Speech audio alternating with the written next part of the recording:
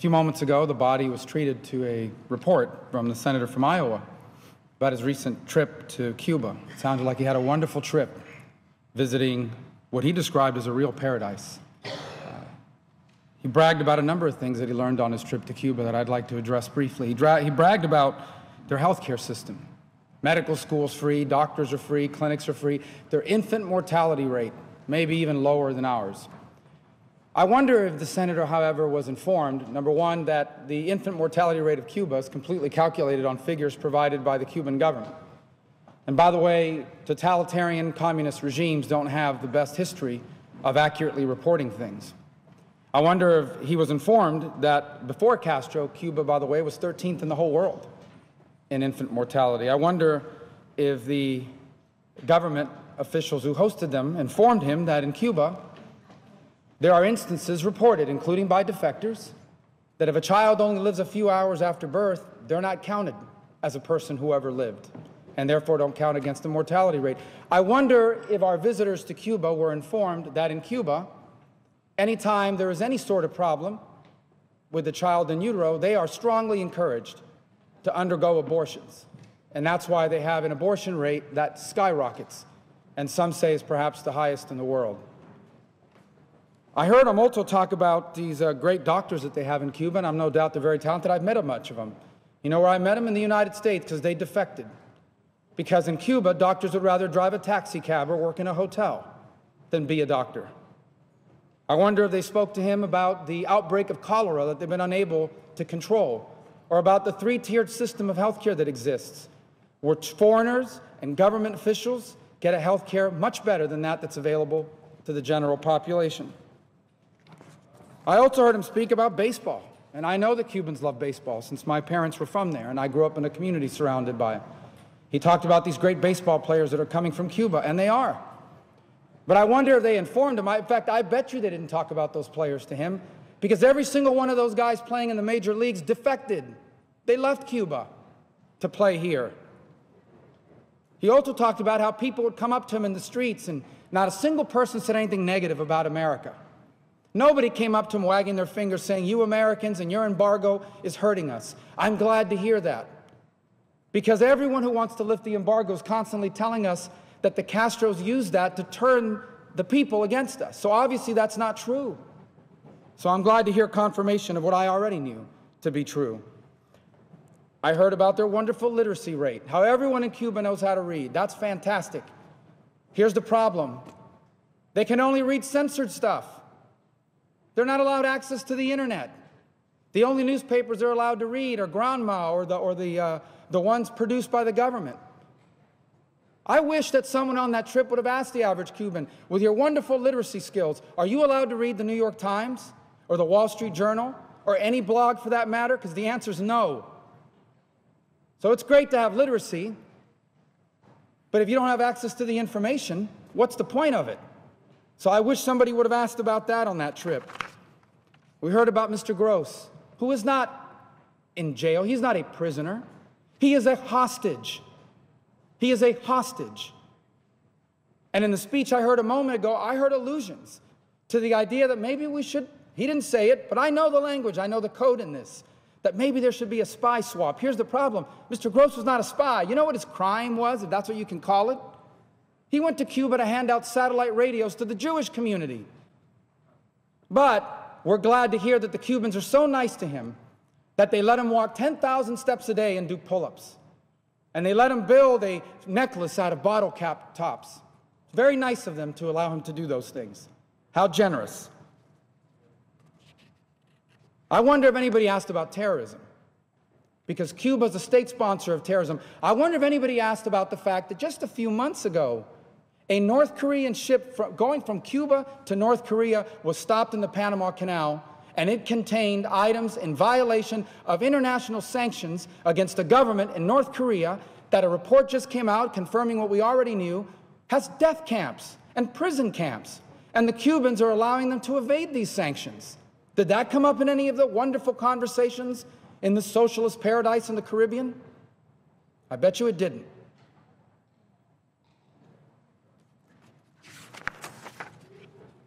Let me tell you what the Cubans are really good at. They don't know how to run their economy. They don't know how to build a country. They don't know how to govern a people. What they are really good at is repression. What they are really good at is shutting off information to the internet and to radio and television and social media. That's what they're really good at.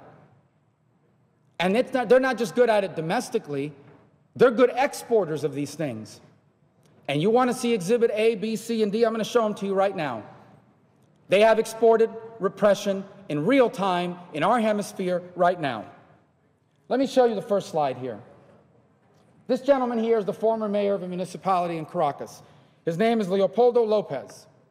And this is the National Guard of Venezuela pulling him into an armored truck last week.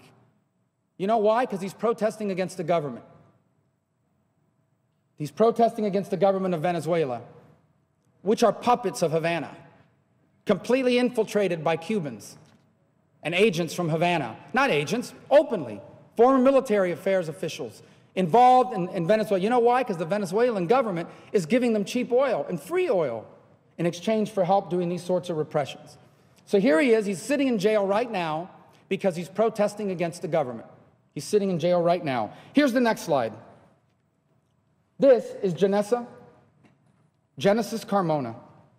She's a beauty queen and a student in a city called Valencia. She's on that motorcycle because the government in Venezuela and the thugs, these so called civilian groups that they've armed, another export from Cuba, a model the Cubans follow, they shot her in the head. She died last week.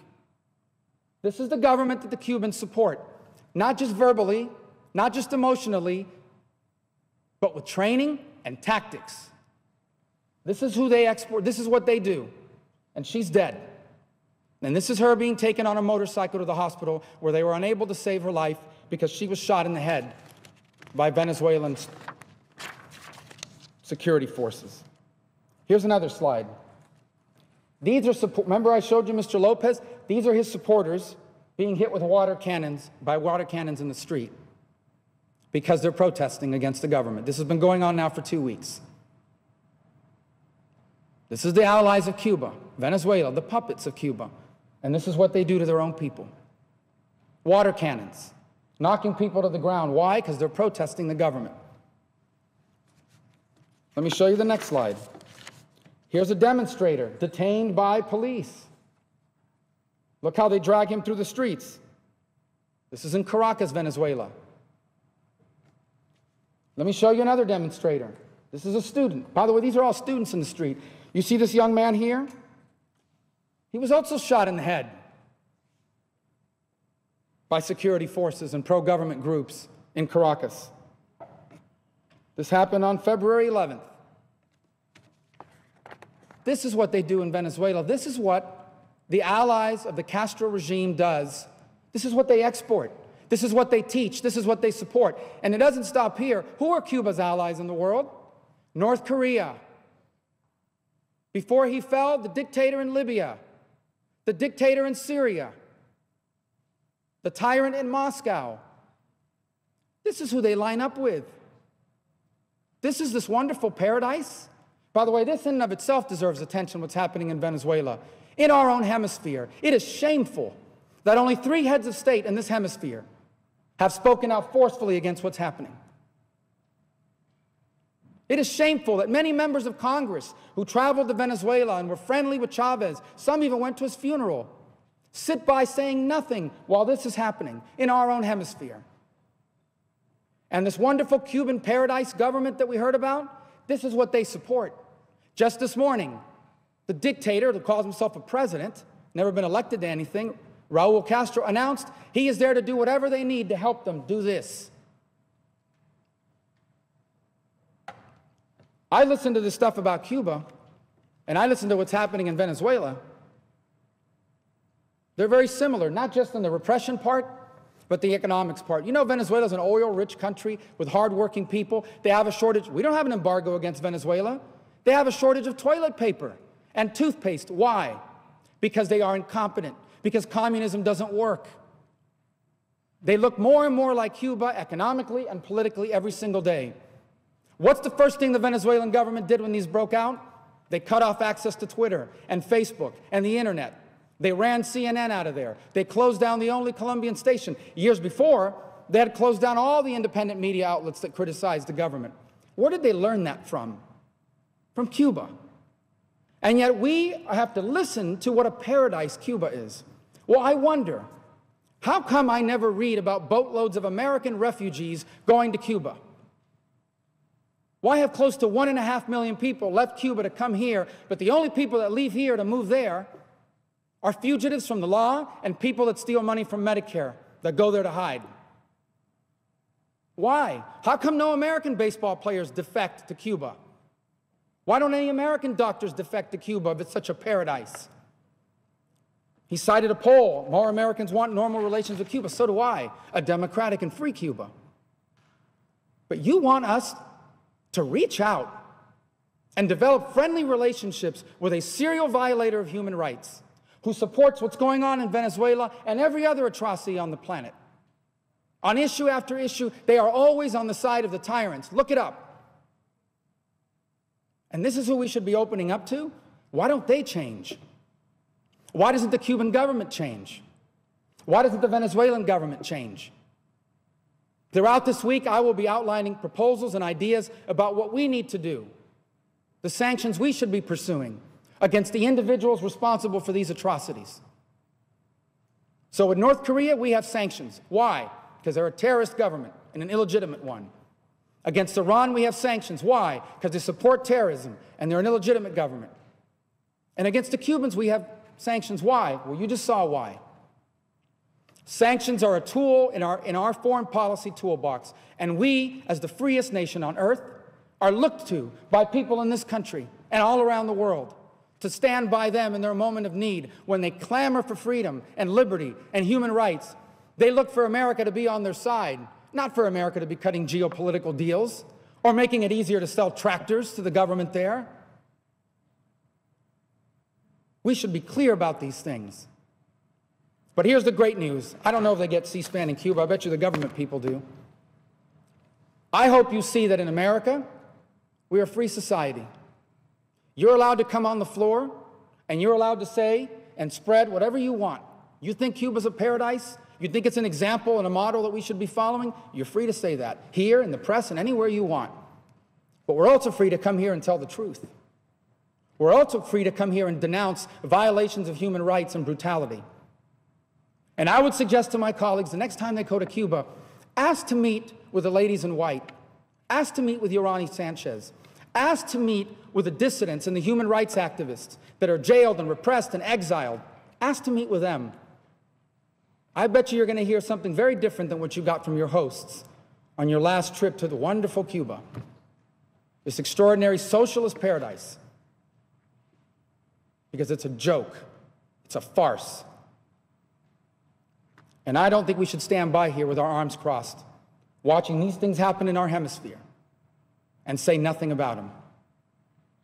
I can close by saying this.